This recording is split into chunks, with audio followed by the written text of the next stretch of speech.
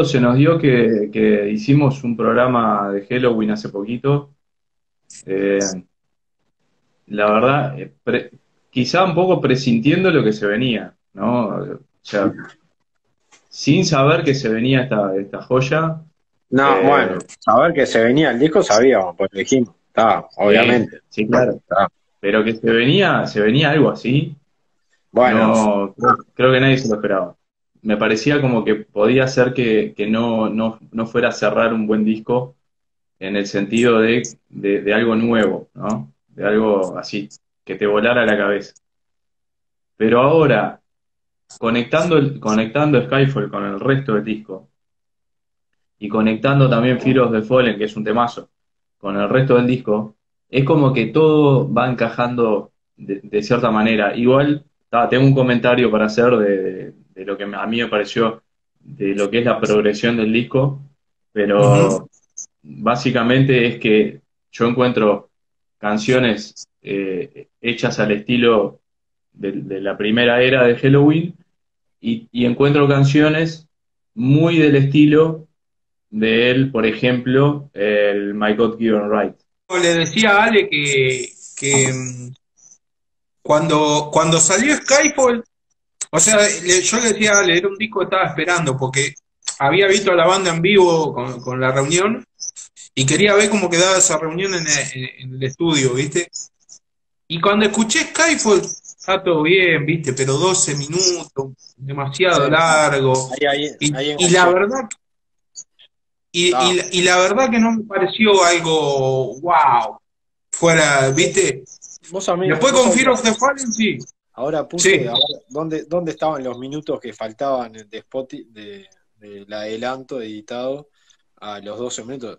El otro día no me di cuenta, tan enganchado y, y como ponía, me entré a enganchar en Twitter y iba comentando lo que me parecía, que tiene tanta guitarra y tanto que, y hoy, hoy la escuché Skyfall, de vuelta escuché el disco de vuelta, y la verdad me está gustando más, a diferencia del gordo, me está gustando más y la veo como está, tengo, tengo cuatro o cinco canciones que, que las he repetido y, y tengo como un top ya hecho y Skyfall es, es como el, una de las columnas vertebrales o la columna vertebral que engancha todo.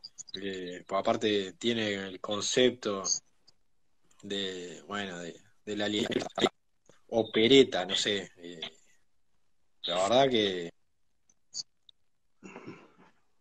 hasta me hace acordar a, a The Rime of the Ancient Mariner salvando las distancias, de que, viste, es algo que, pa, la puta madre, que, que va a quedar, viste, que este disco está bárbaro, sé qué, pero ese tema me parece que, que va a quedar como clásico, clásico.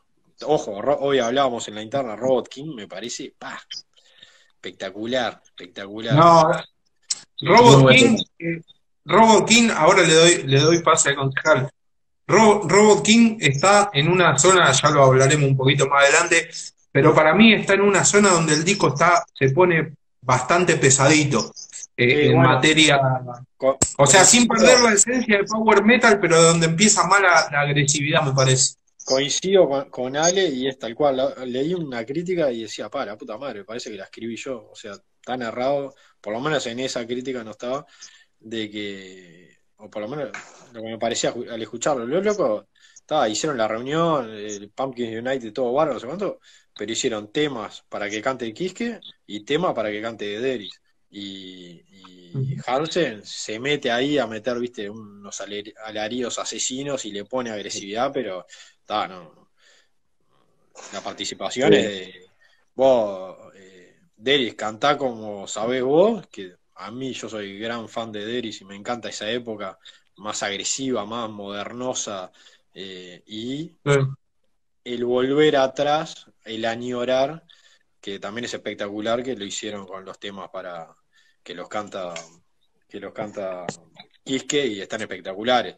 Ya pones el disco y la primera estrofa cuando escuchás la voz de, de eh, puta madre, eh, de Quisque, decís, a la mierda, volvieron, viste, te da una cosa de amo, carajo.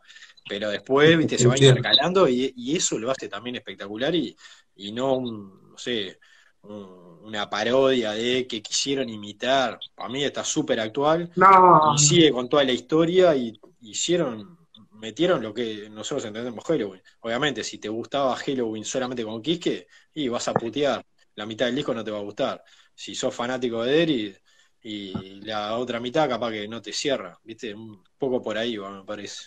Recuerda que ese día, la diferencia de horario, ¿verdad? Tres horas de que hay entre Guatemala y Río de la Plata.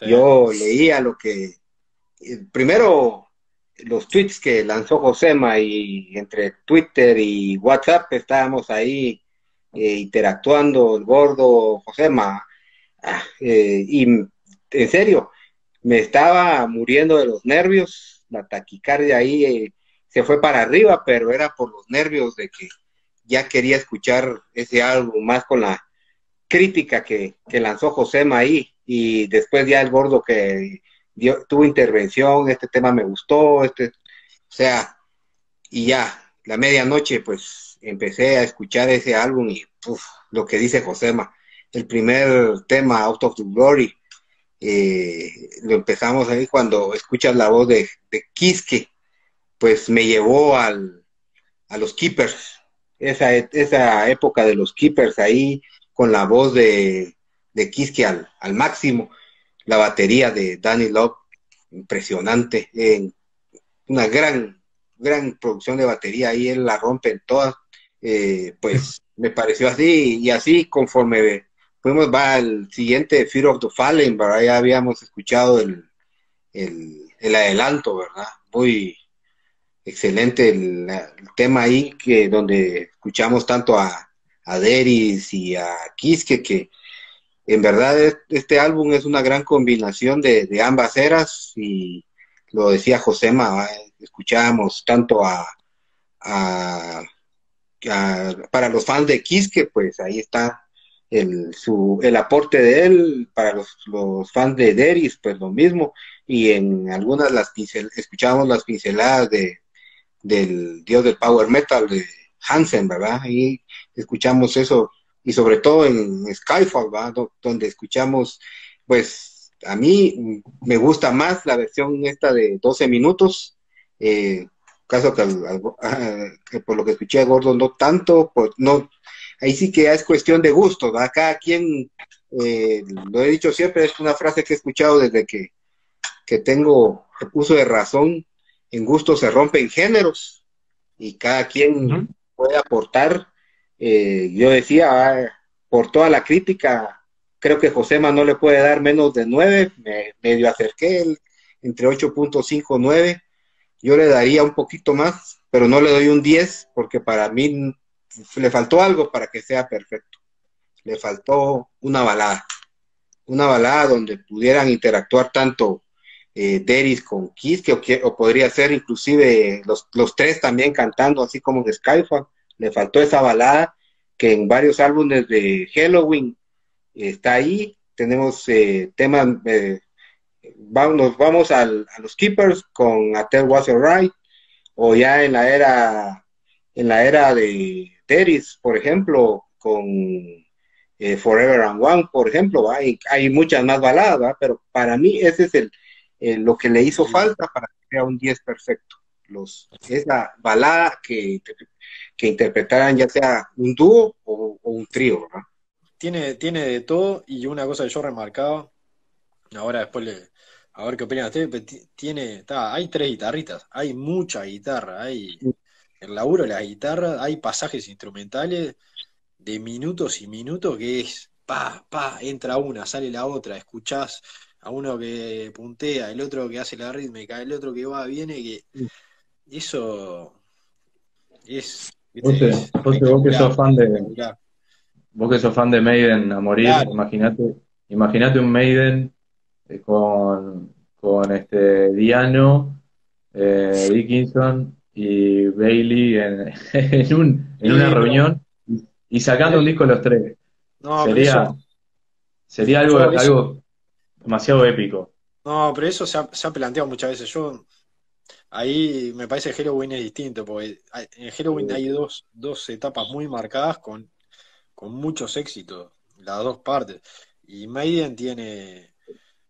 Maiden es como que Dickinson eh, está Diano, podemos hablar que sí o que no, pero dos Bailey. contra, contra mucho, entonces ya, y Bailey está, es amigo mío, pero no, no muy- Por eso, pero Halloween, Halloween tiene, tiene eso, que, que los locos meten a los, meten a los dos, a los tres cantantes y queda bien. Digo, está, obviamente, si invitamos, yo decía, a un ultra fan de una era, y bueno, nos va a mandar a cagar y nos dirá, no, que no sé qué, que vamos arriba aquí, que está bueno, pero para, para el público en general, como me considero de fan normal de Halloween, queda bárbaro y, y le- les da el cuero para hacerlo, lo hicieron y queda bien. Y, y como decía el gordo, lo hicieron en vivo, probaron y ahora dijeron, "Bueno, está, hagámoslo, el laburo que debe haber sido meter mi- 50 mil millones de arreglos para la guitarra, para las voces, pa. pero bueno, Todo. Estaba este, viendo una entrevista, una entrevista en YouTube que le hacían a, a Quisque, Ujú. donde le preguntaban, le preguntaban dos cosas, le preguntaron así puntualmente. ¿Cómo manejaban ellos el tema del, del ego para, para repartirse las canciones, si había alguna preferencia o había alguna eh, prioridad por jerarquía o algo? Y el loco decía, nosotros ya a esta altura de nuestras vidas, eh, no, te- no, eh, no tenemos ningún, e- ningún ego, este, es más, es, es como un disco colaborativo donde unos pueden participar de una manera mejor que el otro en algunos temas. Entonces nos poníamos de acuerdo y decíamos, bueno, eh, e- esto le va, le va a quedar mejor a Andy y que lo, que lo cante Andy y yo eh, hago la otra parte y así se fueron como, como repartiendo las canciones. Y Quisque decía, ego ninguno, todo lo contrario, este, hasta mejor porque nos sacaba un peso encima, eh, que en algunas partes de, la- de las canciones yo, quizá le, eh, Andy lo podía hacer mejor que yo, y, lo, y así fue como lo, como lo trabajaron. Y eso para mí todo estuvo muy bueno, lo que decía, ¿no? Que, que, este, que por ahí mucha gente piensa de, ah, porque Quisque vino y se, se quiere llevar todo por delante, y quedó demostrado que no, que, que es un este, mitad y mitad, con obviamente con un Kai Hansen más volcado a la guitarra, pero de todas maneras bastante, bastante bien logrado todo, todo el asunto. Y lo otro que le preguntaba, porque obviamente para el que es fan sabemos que, que Halloween es la banda pionera, pero como que le preguntaban un poco cuando ellos empezaron, cuando empezó la banda, cómo lograron crear el power metal, cómo, cómo, cómo fue que Halloween hizo, cre- creó un nuevo estilo. Y, y Kiske decía, en realidad no sé si nosotros fuimos creadores de, para mí nosotros no lo somos, dice, eh, nosotros sí recibíamos muchas influencias, había muchas bandas ahí en esa época y todos este, influenciaban eh, nuestro estilo. Dice, y por ejemplo, Fast as a Shark de, de Accept, si vos la escuchás, es una, es una banda, es un tema que, que es rapidísimo y que es power metal. El Conce decía que, que al disco para ser perfecto le faltó una balada, no, Conce. Ni en pedo, no, no hay cabida pa- para mí, ¿eh? No hay cabida para una balada en este disco. a, a mí, a mí me gustan, me gustan las baladas, pero no estoy con vos, gordo. Dámelo así como está. Para mí, a la mitad del disco eh, hay un bajón, hay un desacelere medio tiempo, que si lo escuchás con la manija, seguís ahí medio, ¿viste? Terminás. Ahí está, ahí pero está. Cuando lo escuchás tranquilo, se nota más el bajón. Ah, eso, no, eso.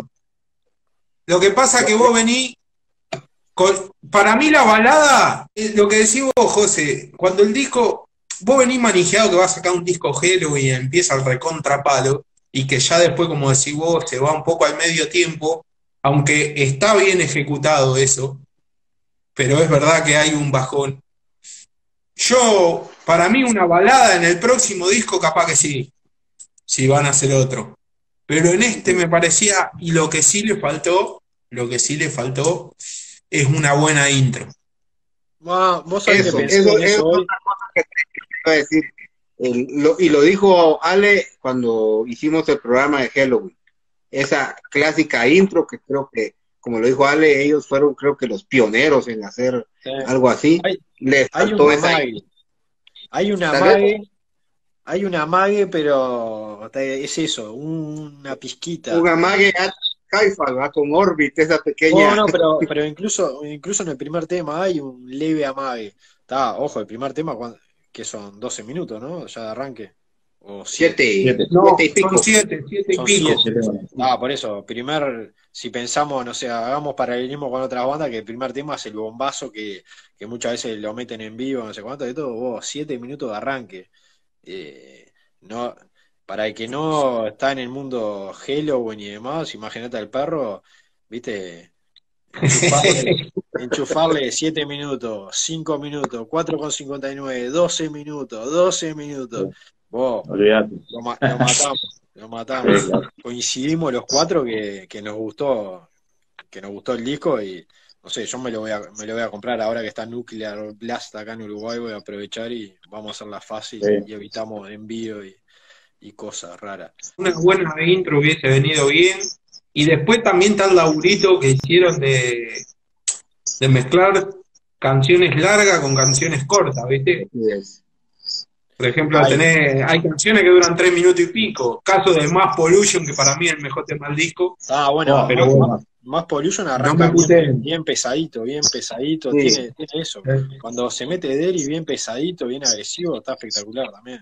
Esas son, esas son típicas líricas de, canciones de, Andy Eris. Más Pollution, bueno, eh, Robot King es, es ultra 100% de Eris. Sí, a, mí, a mí me gustaron varios temas. No puedo decir me gustó más, eh, pero yo creo que tal vez Best Time, como dijo Josema, esa para estar en el concierto, a la par de haciendo, sí, decir ahí. Abrazado de un desconocido todo sudado ahí varias para estar agradecido con la vida de estar ahí y eso, eso me, lleva a esa, esas letras. Eh, hay tema para todos los gustos y obviamente hay tema de cancha. que no, no es casualidad.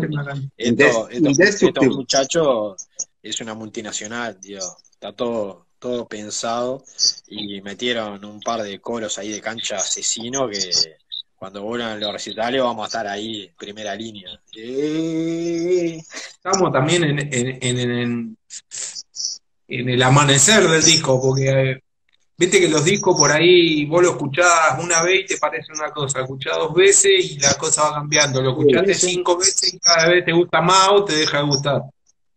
Yo lo escuché dos veces, lo escuché ni bien salió el primer día y hoy lo escuché de nuevo. Y tengo, salvo Skyfall, que reitero, no, no, no me puedo bancar esa y son gustos, muchachos. Eh, ¿qué, vamos a hacer? Eh, me parece demasiado largo. Eh, son varios temas en uno, si querés, sí, ponele.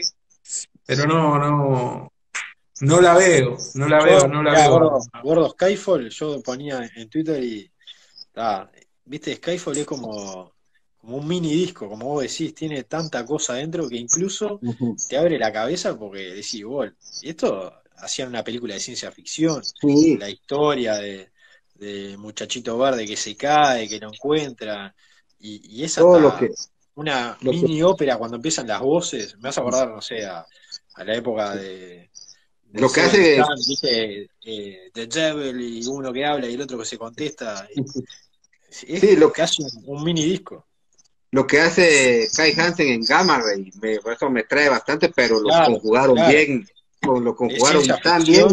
Sí, exacto, eso, las letras de ciencia ficción y todo, pero ya, ya adaptada, aplicada a Halloween, ya con los tres vocalistas. A mí, a, mí en ese sentido me parece un tema fantástico por todo eso, ahora, ahora confusión, los cambios de ritmo, escuchás la guitarra de, de, Sasha, de Sasha o, escuchás a Wake o al mismo Kai Hansen, todas esas, esas, variaciones son las que a mí me gustan de Skyfall. Eso fue el, el, adelanto que lo que está en, por ejemplo, en, o estaba anteriormente en las plataformas de streaming, solo era el tema de siete minutos, creo que, que, tiene, o seis minutos, la no. Pero a mí el que me gusta en sí, en sí, es el tema largo, el de que trae Me parece un tema fantástico que, bien podría estar en, hasta desde mi punto de vista, lo digo, en uno de los keepers podría encajar perfectamente ese tema. Que guste más o guste menos acá en algunos, pues como lo he dicho siempre es cuestión de gustos, pero para mí está, es el tema más largo del, disco, pero para mí está muy bien. Eh, yo, que cuando venga, estoy en un recital de Halloween y, empieza a sonar Skype, pues me, voy a comprar algo. Te vas a comprar Ahí va, te vas a buscar la, te vas a buscar la birra para invitarnos. Ahora, sí, olvídate. Pero igual, ojo, eh. podés, ir a tu casa, podés ir a tu casa a dormir una siete y volvés. Y, te, y todavía no terminó el tema. Yo le grito, yo le grito, vos, wake up, pará, no toques Skyfall que a Gordo no le gusta. Este disco está hecho con, con, con una frescura y una pasión eh, que, que, quizá por, ese, por eso yo rescato de que la banda no, no trata de imitar a otras épocas o de, sí de rememorar otras épocas, pero no de imitar y de tratar de hacer algo como sonaba aquello. Entonces, influenciado. yo, yo no, no, noto que haya como una especie de sobreactuación o sobreproducción, como sí he escuchado en otros discos de, del género últimamente. Antes de escuchar el disco estuve a punto de poner en Twitter que el power metal está agonizando y se está por morir. Eh, sé que, sé que era una, eh, era una declaración de guerra, pero eh, yo lo pienso así. Ahora Halloween, obviamente, el bastión y el estandarte del, género me demuestra que todavía hay esperanza. Sigue siendo la, la, la banda uno, sin duda, y por lejos, del power metal. O sea, yo, mi, mi, descontento, mi descontento es con la larga duración de Skype, o sea, para mí tiene, tiene un montón de pasajes, bueno el tema, pero hacerlo en 12 minutos para mí es, demasiado. Pero el disco en líneas generales es un discazo, es un 8, 8 y medio. Hablando, hablando en términos, en términos perrunos, eh, para mí Halloween si hablamos de los grandes, grandes, no sé, yo lo puse en Twitter y, no tengo duda, me discutirán, pero Halloween y más con este disco y después del, del Pumpkins United y esta formación, para mí es la única banda de power metal que grande, grande en el sentido que juega, juega en primera división, ya está. No rompa malas bolas. Halloween se va a cualquier cartel de cualquier festival del mundo y se la rebanca y yo qué sé, y ya en el Pumpkins United fue y tocó en Rock in Rio. Ah, bueno, en Sudamérica lo bancamos más que en otros lugares. No sé. Sí, tocaron en Wacken también. Si me decís cualquier otra banda, emocionado otra banda de, Power Metal que yo defiendo en ese momento, la tengo clarísima. No, no le da la nafta. Halloween le da la nafta, ya está. Son, son una mega corporación en todo sentido. Para mí, es una empresa. Claro, vos, es, es una banda de taquito, es una multinacional, los locos entendieron todo y ya ahora lo hacen de taquito. Si me decía, bueno, con, Derry está ahí una etapa, no sé cuánto, pero como están ahora, es como cuando volvió Maiden. Salvando las diferencias, no, no, no nos pongamos a discutir eso, pero son la, la referencia todo el power metal, todo el género, tiene un solo lugar a donde mirar y son estos locos. Es así, clarito. Y, quizá, y quizá eso hace que gente que no le gusta el power metal o no escucha directamente, eh, Halloween es un caso aparte. Entonces, sí se compra el disco de Halloween. Tiene la importancia y el peso que, que hace que juegue en primera división. Para mí juega en primera división y de hecho no hace que, que el power metal se muera aún.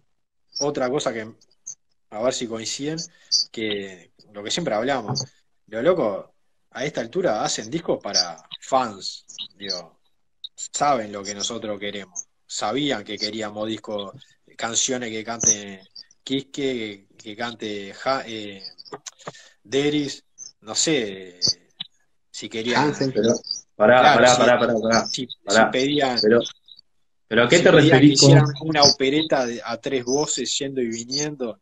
No, yo, lo que, yo lo que veo de este disco, vos, estoy de acuerdo contigo que es un disco para los fans de siempre, para todas las épocas, pero convengamos que es un disco 100% comercial este.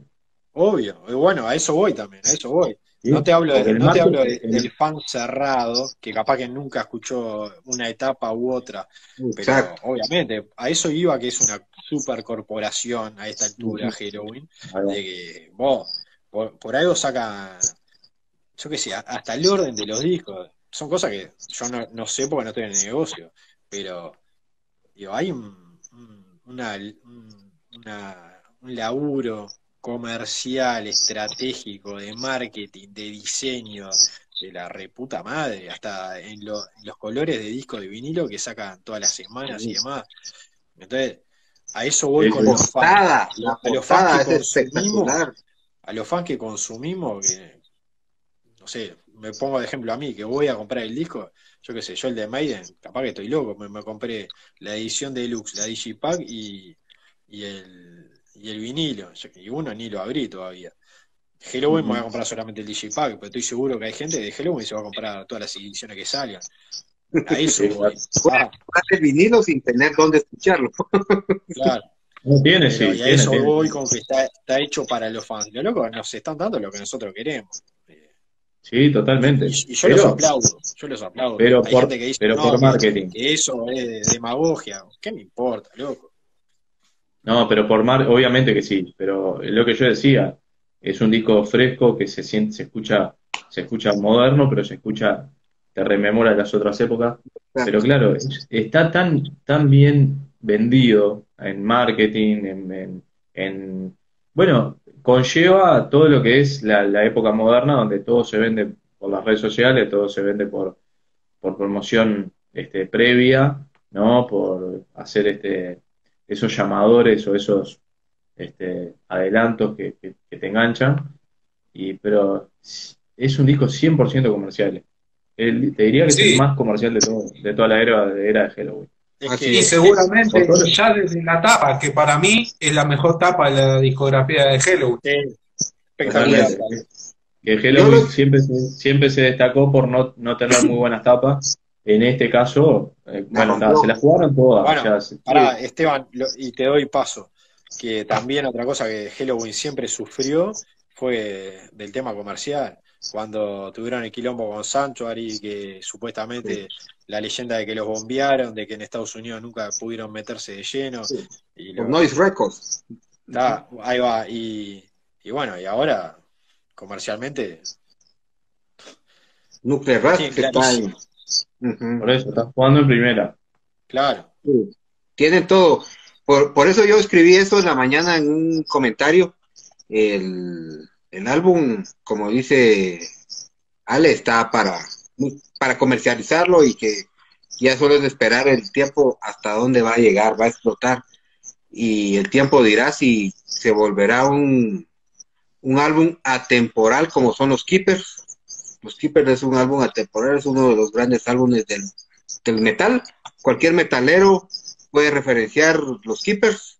El tiempo dirá si este álbum llegará a ese nivel o se quedará un poco más abajo. Eh, como lo digo, solo el tiempo lo dirá. Mientras tanto... Y lo que pasa que para mí puede llegar a quedar en la historia por el, por el solo hecho de que es el primer disco de, después de con la reunión y que gustó mucho. Claro, tiene... Y, que, tiene, tiene grandes labores de, cada integrante. Por ejemplo, hay un trabajo muy bueno de, de Marcus Graukov, que, perdón, eh, que, que es muy bueno y no, no lo habíamos dicho hasta ahora. Sí, Él siempre, el, el, trabajo de Marcus, el bajo en Halloween es, es algo eh, imprescindible. El, el, bajo de él siempre, y, y como, eh, no sé por qué siempre los bajistas no siempre los mencionamos, ¿verdad? Porque quedan siempre en un segundo plano. Pero sí, este, eh, Marcus es uno de los grandes bajistas del metal, sin duda. Es como, como dice el gordo, nosotros que somos, somos periodistas de heavy metal, nos podemos catalogar de periodistas, sí, somos periodistas de heavy metal, vamos arriba. Y, no, pero hablando en serio que en el contexto del metal, no sé, de dónde nos movemos nosotros y información y demás, esto es un, un hecho relevante del 2021. Es como dice el gordo, eh, el disco gustar o no, pero si, si ves en los hechos relevantes del mundo del metal del 2021, fue una de las banderas. el año pasado fue Power Up de ACDC, este año será Halloween, Halloween. Así. Como, exacto. Eh, como el disco de ACDC, como bien decís, como el disco de Halloween que volvieron volvieron todos, digo, son cosas relevantes que van más allá, como decía Ale en el programa Halloween, no, no hacemos Halloween porque me gusta a mí, o hacemos Halloween porque eh, es una banda que tiene, tiene su lugar en la historia, marcaron un, un mojón en esa historia que, que, va más allá de la banda, está en el mundo del heavy metal, así que saludos. y, aparte, y aparte otra cosa que es la, debe ser la única banda que tiene tres vocalistas, pero dos en un disco, dos vocalistas, ya no es poca cosa.